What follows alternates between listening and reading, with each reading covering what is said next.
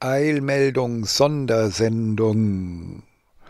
Ja, also, da wollen wir doch rein. Ein Parlament, das ist jetzt irgendein Parlament. Ich konnte leider kein kostenloses Bild des Deutschen finden. Hier unten rechts bei dem runden Ding bitte schneller drehen, weil ich ja so langsam rede. Ja, äh, es ist so, ich äh, wurde gebeten, das Wirrwarr eine Psychologin hat sich bei mir gemeldet, Mitglied von Wir 2020, mal das Wirrwarr zu erklären mit den Parteien, ja.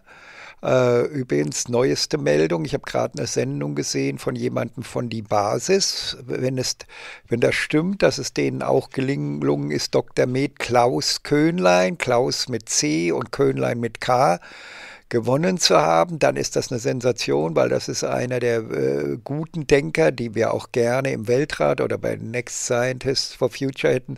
Dr. Köhnlein steht dafür, dass er auch äh, äh, immer wieder darüber gesprochen hat, wie unser Medizinsystem tötet und tödlich ist für uns sozusagen äh, und wie man als Arzt aus Irrtümern heraus Menschen tötet äh, und so weiter. Und äh, das äh, ist sehr wichtig, denn äh, das wissen wir natürlich von den Next Scientists for Future schon lange. So, dann gehen wir doch mal hier zur Eilmeldung und äh, zu der Anfrage jetzt wegen, äh, so, was ist los mit den Parteien? Bevor ich es vergesse, es gibt also auch noch die Föderalen also zu aller Verwirrung gibt es auch noch die Föderalen. Die sind aber im Internetfernsehen noch gar nicht aufgetaucht, also sind da noch bei null Klicks sozusagen und äh, das äh, oder wenigen Klicks. Und äh, das kann man deswegen vergessen, denn es geht nur so, wie ich es jetzt äh, beschreibe. Also die Psychologin schreibt jetzt, und Mitglied von Wir 2020, wobei sie nicht schreibt, von welcher Unterabteilung, EU oder DE. Ich bin etwas verwirrt. Ich bin vor einiger Zeit in die Partei Wir 2020 eingetreten. Jetzt gibt es noch die Basispartei. Gehören die zusammen? Worin besteht der Unterschied? Ja, es gibt also auch noch die Föderalen und es gibt zwei Wir 2020, die Basispartei, die Föderalen und vielleicht gibt es noch fünf andere, von denen ich gar nichts weiß. Aber von den Klickzahlen her äh, sozusagen, äh, ja, habe ich noch nichts anderes gesehen bis jetzt. So, dann meine Antwort. Wir 2020 gibt es doppelt. EU am Ende und DE am Ende die DE, die wir beraten haben, zumindest einen entstehenden Landesverband. Und äh, auf der anderen Seite wird DE auch beraten oder sogar, äh, da ist sogar jemand Mitglied geworden von economyformankind.org und lösungen.jetzt. Ja? Aber nur eine fusionierte Volkspartei regi kann regieren. Also denn wenn die äh, nehmen wir mal an, äh, andere Kleinparteien nehmen äh, so und so viel Prozent weg, dann wird es nichts mit dem Kanzler, ja, mit äh, Dr. Füllmich als Kanzler oder so, ja, das, das, das schaffen wir dann nicht. Also wenn die, wenn die Leute alle ihr jetzt so nach dem Motto, es ist mir aber wichtig, äh, Vorsitzender eines bedeutungslosen Kleintierzüchters äh, oder Kaninchenzüchtervereins zu sein, nämlich die Partei so als Minispielzeug, das bedeutungslos ist, Leute, vergesst es. Entweder man startet mit, der Pali mit einer Partei ins ganz große Geschäft durch, äh, oder macht die Partei zu, damit sie nicht stört. Ja, äh, das bringt eh nichts. Nach ein paar Monaten habt ihr eh die Schnauze voll von einer nutzlosen Partei. Ja, also dann habe ich weitergeschrieben, wir 2020 ist zu inaktiv, dümpelt bei circa 10.000 Klicks. Die Basis hat mit Füllmich sofort 150.000 Klicks erzielt. Wir brauchen aber 20 Millionen. Ich selbst stehe mit meinen Freunden von den Next Scientists for Future und dem Weltrat bei circa 400.000 Klicks. Das bringt gar nichts, ja. Also von uns haben vielleicht in Deutschland 800.000 Menschen gehört. Ein Prozent, einer von 100. Das bringt gar nichts. 800.000, die mal ein bisschen was über Next Scientists for Future und Weltrat gehört haben, das bringt nichts. Das kann man vergessen, ja. 20 Millionen Klicks braucht es mindestens für große Wahlerfolge, weil nur dann kann es vielleicht rüberschwappen in die großen Medien und dazu müssen aber alle, äh, dazu müssen dann die Spitzenkandidaten wie äh, oder Kanzlerkandidaten wie zum Beispiel Dr. Füllmich mit den Spitzenexperten von Sendung zu Ten Sendung über Zoom-Sendungen oder Online-Sendungen, von Sendung zu Sendung tingeln und jeden Tag eine Sendung muss kommen und jede Sendung muss 200.000 Zuschauer haben oder, oder eine halbe Million und so weiter. Und anders geht's nicht. Und idealerweise kommt noch ein paar reiche Mäzene dazu, die dann auch noch dafür sorgen, dass auch so Sender wie Riso eine Sendung machen und so weiter, die, der wahrscheinlich Geld nimmt, ja, und dem man wahrscheinlich, ne? Ähm, ja, also, ohne 20 Millionen, glaube ich, passiert da gar nichts, ja, denn die meisten Klicks, die sind, sind völlig wertlos.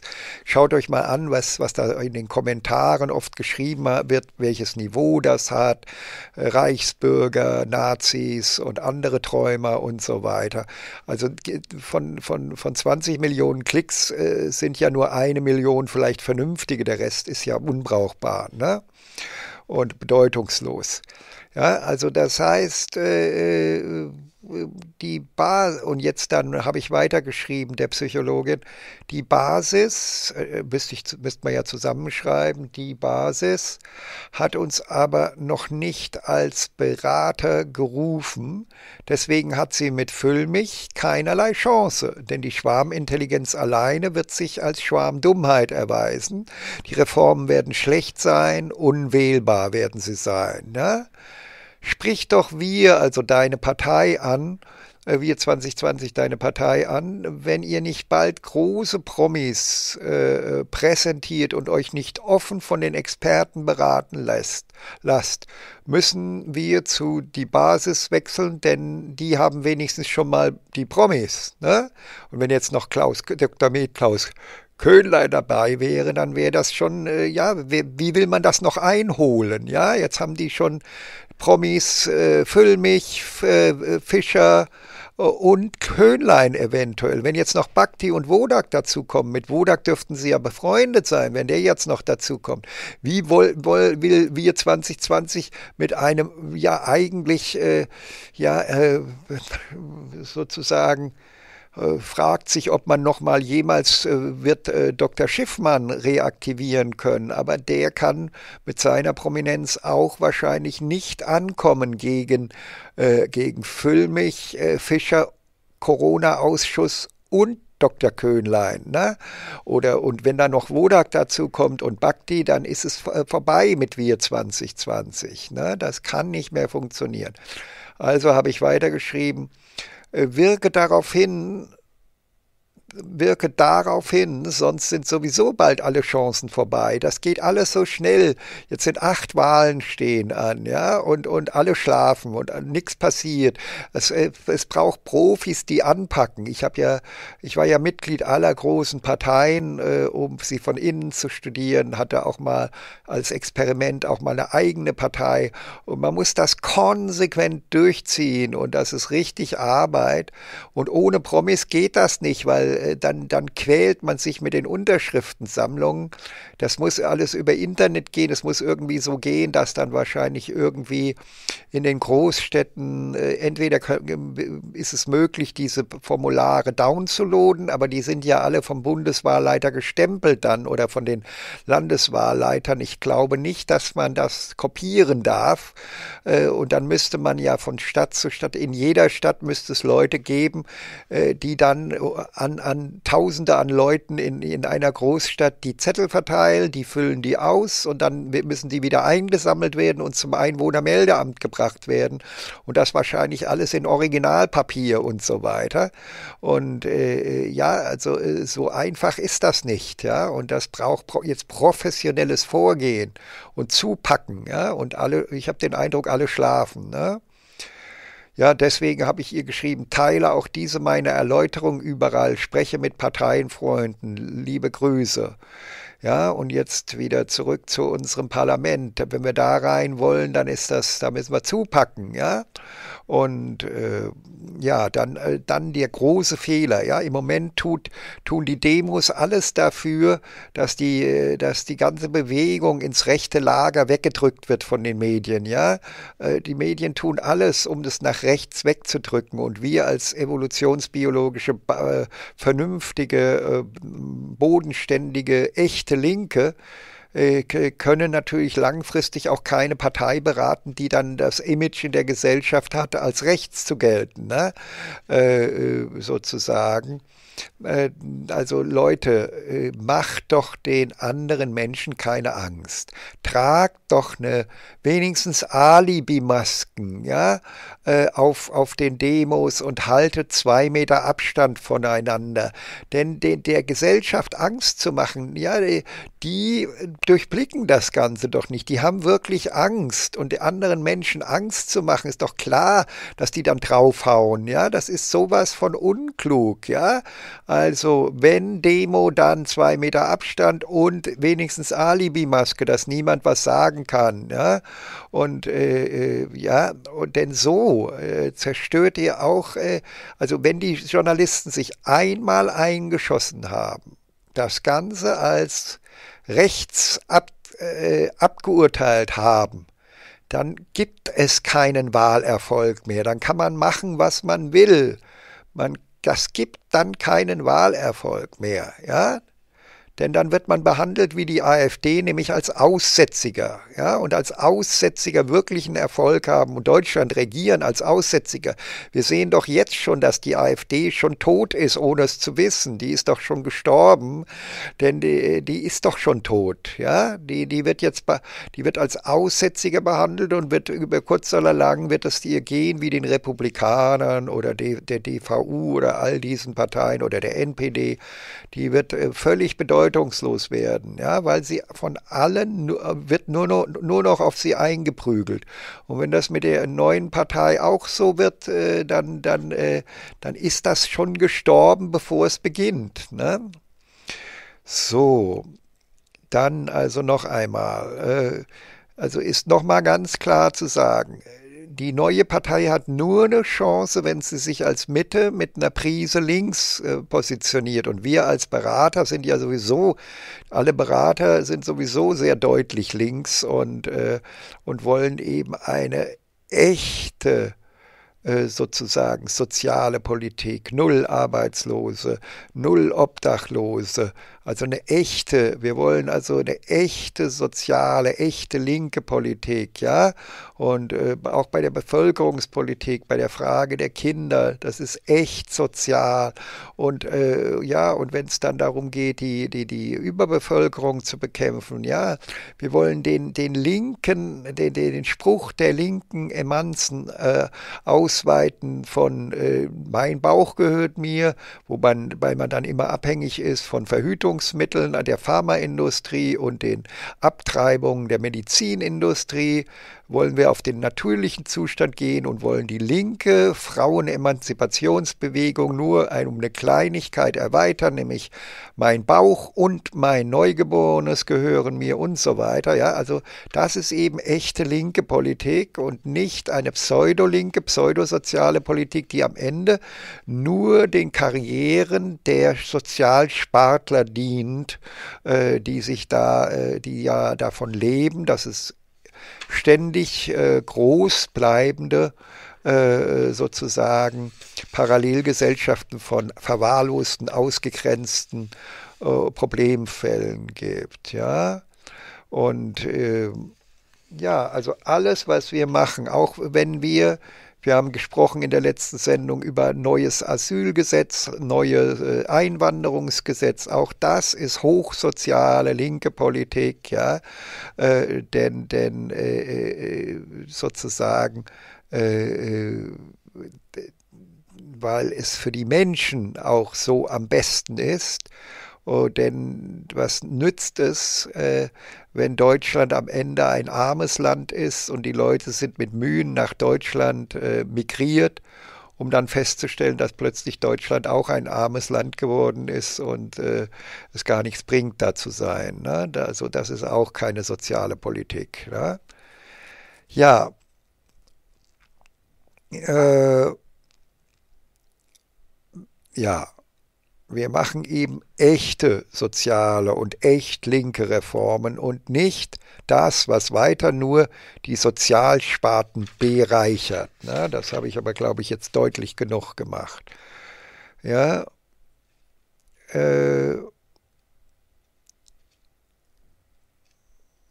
ja, also die ganze Bewegung muss jetzt endlich aufhören dafür, da, damit, Vorwände den Medien zu liefern, alles Neue gleich in die rechte Ecke abzuschieben und nur noch drauf zu prügeln. Ja? Und äh, ja, also morgen äh, wird es dann wieder nochmal Versuche geben, so äh, einzelne Programmaspekte, die die Experten vorschlagen, äh, in Kurzsätze zu formulieren. Ja, also da müssen wir rein. Und das war es dann jetzt mit dieser Eilmeldung für heute, vielleicht noch das Tages, äh, also jetzt äh, äh, die Überschrift, ja, also ist klar, wir müssen jetzt drauf alles drauf konzentrieren. Wenn jetzt noch Dr. Köhnlein da wirklich dabei ist, dann müssen wir wirklich konzentrieren alles und alle bitteschön jetzt wechseln von Wir 2020 zur Basis und fusionieren und die Basis anstupsen und beim äh, vor dem Wechsel ganz klar sagen, aber ihr müsst mit den Experten zusammenarbeiten, denn die Promis alleine werden, werden nichts bringen. Das, äh, das landet bei vier Prozent und dann ist äh, alles aus. Ja, dann, dann geht alles so weiter. Ja, dann mit den vier Prozent hilft man sogar noch den Altparteien und hilft denen noch und bestätigt noch deren äh, Corona Verhalten. Ja? Also wählt Dr. Rainer Füllmich bzw. Viviane Fischer vom Corona-Ausschuss als Bundeskanzler mit 56 Prozent. Das reichen ja, um Kanzler zu werden, vielleicht schon 25 Prozent. Ne? Und äh, die Studie sagt ja, dass mit 99-prozentiger Sicherheit mindestens 33 Prozent wohl erreicht werden können ähm, die simulierte Bundestagswahl und wir haben jetzt das Parteienchaos erklärt ja, äh, äh, sozusagen. Ähm, äh, und äh, hoffentlich erklärt. Ich bin, weiß aber nicht, ob es noch zehn andere neue Parteien gibt, die dann also quasi nach dem Motto viele Ko Köche verderben den Brei alles ruinieren werden. Ja, das war es mit dieser Eilmeldungssendung. Äh, und äh, da müssen wir rein, ja. Und es geht nur. Also es sind drei Kräfte, die einer Partei helfen können. Reiche Mäzene und Sponsoren, die sind aber nicht unbedingt erforderlich. Aber das Minimum, was erforderlich sind, sind die besten Reformen der Welt und diese Experten stehen zur Verfügung, werden aber von der Basis noch nicht abgerufen, von die Basis noch nicht abgerufen.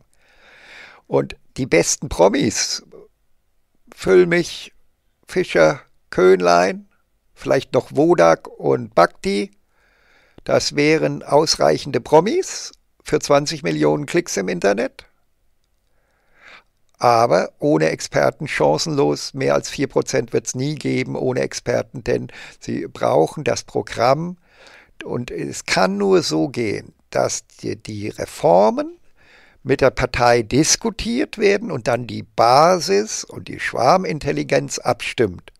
Es ist aber nicht gesagt, dass in, dieser, in diesem Schwarm, den Mitglieder der Partei, es kann ja sein, dass alle Mitglieder eher relativ unkluge Leute sind und die werden dann das äh, sich in ihrer, da wird die Schwarmintelligenz sich dann als Schwarmdummheit erweisen. Ne?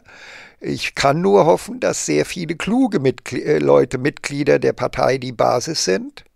Das ist aber nicht unbedingt zu erwarten, ja, weil äh, äh, sozusagen, wer, wer an Schwarmintelligenz glaubt und an Basisdemokratie glaubt, ist meistens, gehört meistens zu den etwas weniger gebildeten, denn die sehr gebildeten Leute wissen, wie hochproblematisch es ist und äh, wie, wie sehr äh, basisdemokratisches zu ineffizienten Prozessen führt und äh, zu relativ schlechten Entscheidungen und so weiter. Ich kann nur hoffen, dass in der Basis ausreichend viele kluge Leute dabei sind, die dann in der Abstimmung der, der, der, des Schwarmes sozusagen in der Lage sind, die, die, die Top-Reformen auch als Top-Reformen zu erkennen, echte soziale Reformen von pseudosozialen Reformen zu unterscheiden, unsere echten linken Reformen von pseudolinken Reformen zu unterscheiden.